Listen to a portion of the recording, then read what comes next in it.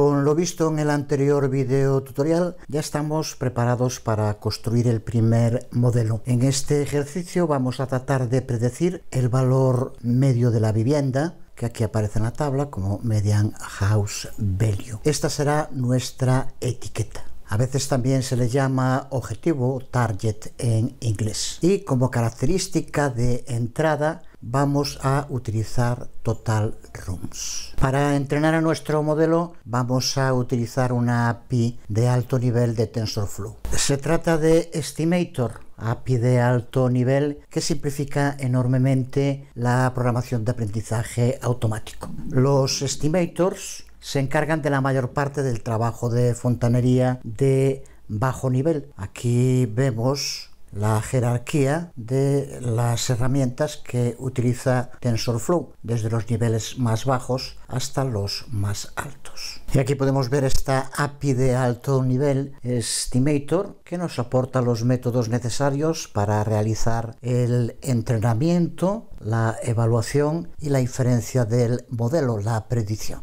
Esta API cuenta con una interfaz llamada Linear Regressor, que es la que vamos a utilizar en nuestro programa. Lo que hace es entrenar un modelo de regresión lineal que predecirá el valor de la etiqueta a partir de la observación de los valores tengan las características. Vamos allá con el código y el primer paso va a ser definir las características y configurar las denominadas columnas de características. Porque para poder importar los datos que vamos a utilizar en el entrenamiento, ya dijimos que van a ser los de la columna total runs, tenemos que especificar qué tipo de datos contiene esa característica o en cada caso, si fuera más de una característica, cada una de ellas. En este proyecto solo vamos a utilizar datos numéricos. Así que empezamos por definir la característica de entrada, que ya sabemos que es total rooms. La shape, la forma de nuestros datos, es un array dimensional, una lista del número total de habitaciones por vivienda.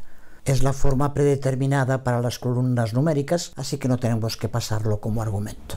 Así que con esta línea extraemos los datos de Total Rooms de nuestra California Housing Data Frame. Y ahora vamos a definir la columna de características utilizando numeric columns que especifica que sus datos son numéricos. El segundo paso es definir el target, el objetivo. Así que vamos a definir la etiqueta que como ya dijimos de nuestros datos es median house value. Ahí lo tenemos.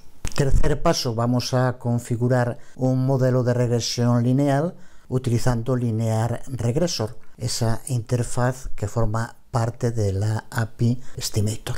Vamos a utilizar Gradient Descent Optimizer, una subclase de Optimizer que utiliza el denominado gradiente de descenso estocástico, algoritmo que optimizará los resultados del modelo de un modo iterativo, como explicamos en los videotutoriales anteriores. A Gradient Descent Optimizer tendremos que pasarle como argumento el Learning Rate, la tasa de aprendizaje, que va a ser la encargada de controlar el tamaño de paso de la degradación. Como ya vimos también en anteriores videotutoriales, hicimos alguna práctica.